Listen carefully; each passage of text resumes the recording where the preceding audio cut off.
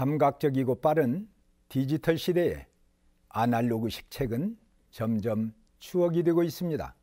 골목의 작은 책방과 북카페가 조금씩 사람들의 관심을 끌기 시작하는 요즘 완주군이 전국 최초로 삼내 책마을 육성 지원 조례를 제정함으로써 책마을 시설 및 프로그램 등 기반 확충을 제도적으로 더욱 확대할 수 있게 되었다는 소식은 신선한 충격을 주고 있습니다.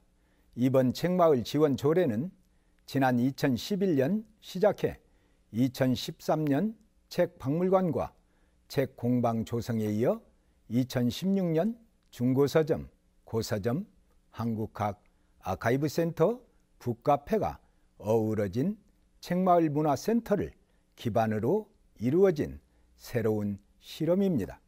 완주군은 본 조례를 통해 점점 사라져가고 있는 책문화의 보존뿐만 아니라 주제 전문 서점 및 어린이 그림책, 미술관 조성, 그리고 북스테이 등 다양한 책 공간을 집적화해 책마을 사업을 확장시킬 수 있게 됐습니다.